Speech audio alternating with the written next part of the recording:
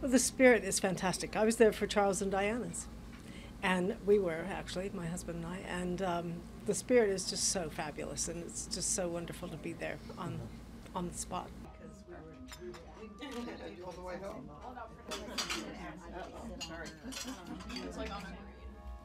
Well, she learned it all here. I mean, um, on, on probably on a scale of one to ten, by the time she'd finished coming to us, I would say she would probably be a nine 9.5. So uh, but I have to say that because I want her to come back for the other five points.